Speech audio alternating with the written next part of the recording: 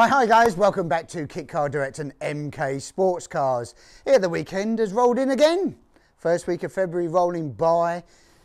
Snow coming apparently this weekend as well. Looking forward to that. Not going to take one of these out. Won't be much fun in that, but you know, what we have got though is a couple of engines here. So I'm going to kick off this week because we did the other week the F20C versus the K20A. So I thought, well, okay, let's change things up again this week. So we've got a couple of bike engines here for you.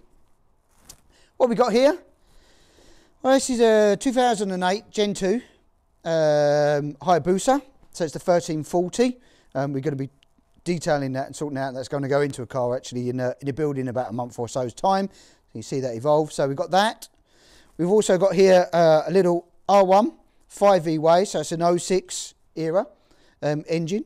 Big difference um, in performance, obviously in terms of brake horsepower and torque that they deliver. But I thought what would be also interesting to see how much they weigh. So we've got a little setup here on the corner weight scales, both of them on the scales. Before I tell you the numbers, have a guess on this one, Busa, in your mentally, have a look, and the R1. And I'm going to reveal the numbers. So what have we got? And I'm not going to lie, because Cameron's man can zoom in in a second on this. I've got a helper, not a tripod this week, even better. So what have we got? 68.3 for the R1 and 87.5 for the Busa. So, but realistically, this hasn't got the throttle bodies on here at the moment. So, all right, I'm going to add a couple of kilos on at that, at, say that 70 kilos. So it's about 17 kilos heavier as an engine, uh, the Busa, roughly. And you're talking a 200 horsepower engine and a 100 and about 113, I think, uh, foot-pounds of torque spec-wise versus I think the R1's about 175, 180 and about 80 foot-pounds of torque.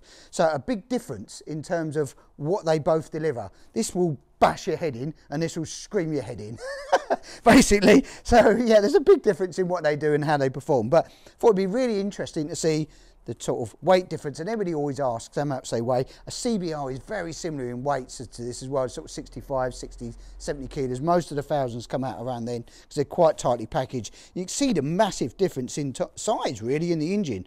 If you actually have a top view from an R1 to uh, a Busa, quite a big difference. And when you get them in the engine bay, you can physically see it. This is easy to pick up. I can comfortably pick the ups. This one I'm kind of might need a bit more of a workout and a bowl of porridge in the morning. But uh, big difference in the two. Thought I'd just run you through the S2000 build where we've uh, on the Indy Classic that we've gone through this week. A few little changes this week, um, obvious ones. Um, bulkhead panel's been put in. Uh, we've drilled and that's been riv nutted, ready to go.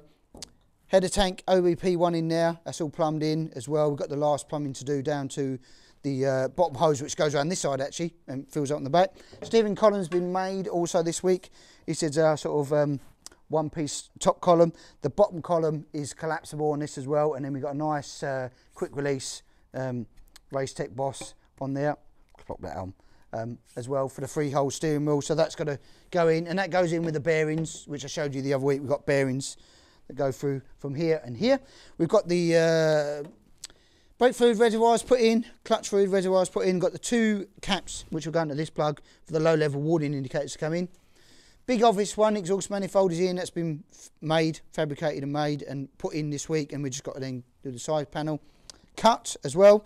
Um, onto the dashboard. Dashboard has gone in, it's a GRP dashboard on this one. Um, you see the centre hole's been done for the column as well, so the one piece column going through.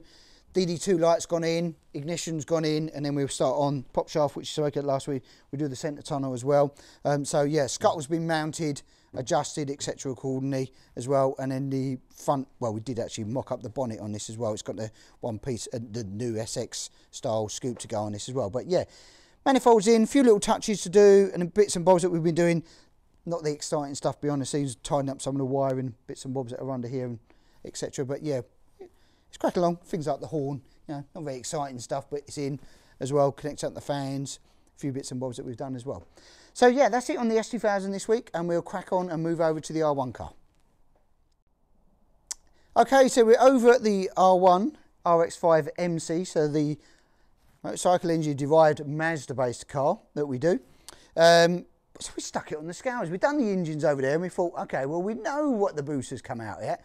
Generally, 520 kilos they roll in out. Um, so I'm kind of looking at about, oh, it's a just un, it's about four, just under the 400 brake horsepower per tonne. If you do the calcs, and it's about 394, 395, I do believe, brake horsepower per tonne.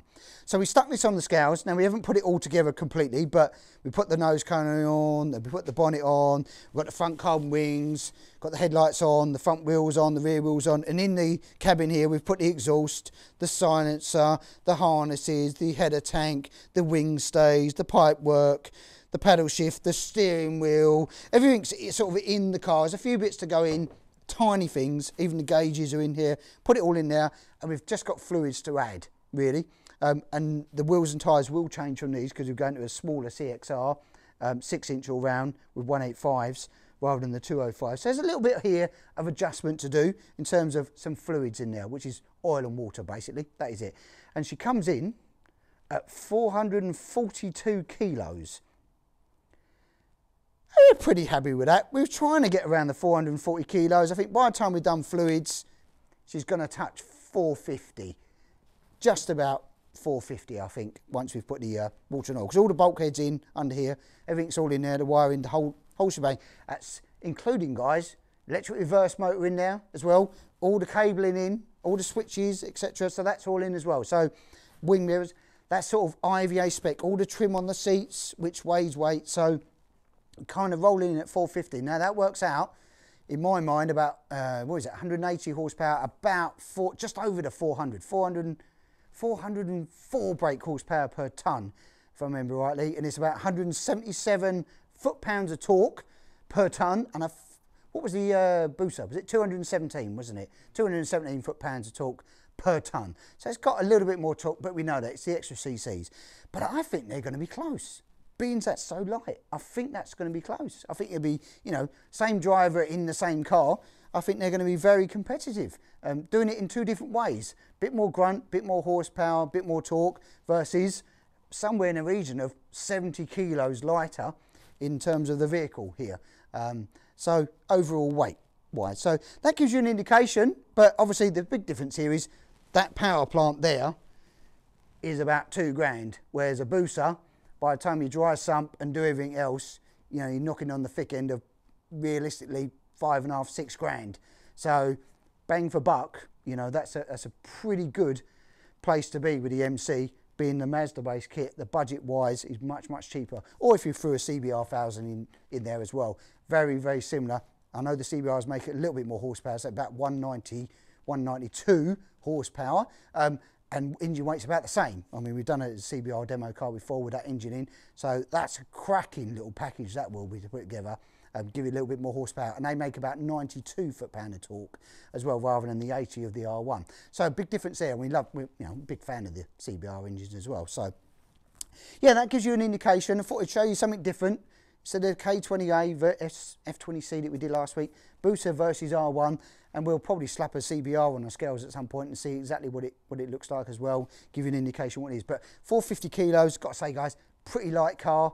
Um, yes, we haven't got a big roll cage on it or nothing like that, and it would add to the weight if you're putting a big roll cage in. But 450 kilos, I think that comes out pretty light, and we're pretty happy in that. And that's no extra lightweight GRP or nothing. That's a standard bodywork. Yeah, we've got a carbon rear wing and we put a carbon front wing on, but you know people do that as well uh, as, as a standard package. And this hasn't been lightened. This is our full spec GRP that we do as well. It's not extra light or made thinner, and that's the SX scoop. So it's got the bigger bonnet scoop on there as well. So and it's got an airbox no air filter. That's got an airbox, which is probably two to three kilos heavier as well overall. So there you go. It's giving you an indication. Busa versus R1.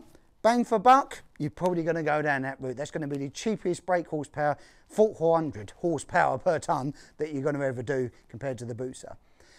So that's it, guys. That's kind of a snapshot for this week. Um, we've probably got some other announcements we're going to throw out next week. We're just finalising some details and some changes and takeovers and things like that. But I won't dig in that too much, but we'll throw it out there, so look out for next week's video. So if you've subscribed, you'll get to see what we're going to announce next week because it'll pop up on your feed. So press that button down there, like and share, and hopefully we'll catch you next week.